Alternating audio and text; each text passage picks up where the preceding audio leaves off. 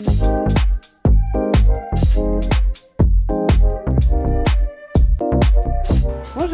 Bonjour Caroline, bienvenue. Merci. Le plat, on va partir sur un côté plus euh, estival barbecue, donc un saumon grillé. On va faire une vierge de courgettes pour, euh, un peu citronnée pour assaisonner ça. Euh, et une cannelloni de courgettes jaunes avec à l'intérieur un caviar de courgettes, amandes et coriandre. Tailler des, des, lamelles assez fines et ensuite pareil on va tourner dans le sens. Bravo, j'en ai mis partout. Mais non, nulle part. On va du coup prendre vraiment toute la partie verte qu'on va juste blanchir comme je disais une dizaine de secondes. 1, 2, 3. On rigole pas avec Caroline quand je dis 10 secondes, je, suis sous pression directe. Le cul d'échalote pour qu'elle se maintienne. Oui, c'est beau, ce vert là. Oh là là, alors la courgette n'est pas le, légume le plus, le plus fou en, saveur évidemment. Toi après, mais vous pouvez chop chop. Comme, ça Voilà, comme un, en essayant d'en garder un peu sur la planche aussi. On va faire quelques tranches qu'on va après étaler sur la plaque avec de l'huile. On va faire des petits carrés et comme ça, on pourra faire le cannelloni avec ça. Donc là, on va pouvoir prendre une cuillère du caviar qu'on va déposer tout le long de ce petit carré. Là, on va les faire cuire sur le grill pour vraiment que ça apporte ce côté barbecue. C'est le croquant a un petit peu d'élégance malgré la barquette. Juste la vierge pour le côté, comme on a dit, une sauce très fraîche. On va mettre un petit bouquet de... Là, c'est du, des pousses de chou. Et voilà, on a globalement terminé. J'étais un plat, un riz cantonné, parce qu'il y a un peu de tout dedans. c'est de faire euh, une rencontre avec une personne âgée qui est seule, ça c'est quelque chose quand même qui a, je trouve que c'est une très bonne idée que vous suggérez. Voilà, c'est essentiellement, euh, essentiellement ça qui m'a, qui, a motivé ma. Je trouve que c'est super de faire la cuisine parce qu'un repas c'est quelque chose de, voilà, c'est convivial, c'est un partage.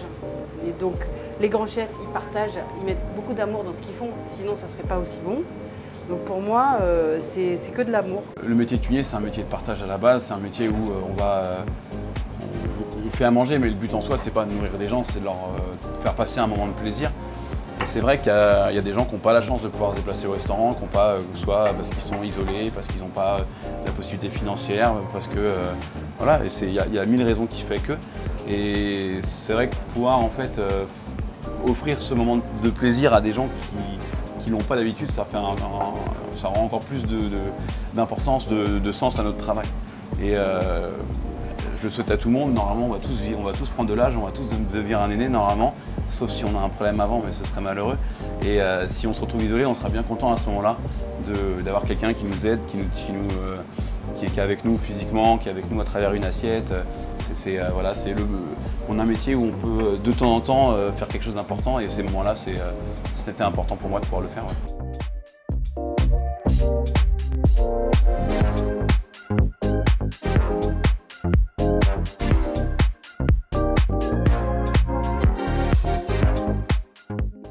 Avec une compagnie euh, extraordinairement intéressante et que c'est vraiment à refaire, à revoir. Euh, ça ne peut pas s'arrêter là. C'est ça, ça serait triste que ça s'arrête euh, dans une seule journée, une rencontre où on peut parler avec quelqu'un et, en plus avec, euh, un, on peut dire, un cadeau qu'on nous a fait pour un repas qui est extraordinairement bon, fait par un maître de cuisine euh, qui a pour un moment partagé avec nous un moment la nourriture que nous avons mangée tout à fait d'accord, c'est-à-dire que le, hasard des choses fait que euh, on se retrouve là et moi je me dis toujours mais c'est pas franchement dans le hasard, c'est pas possible parce que là nous avons une conversation que nous avons envie de poursuivre.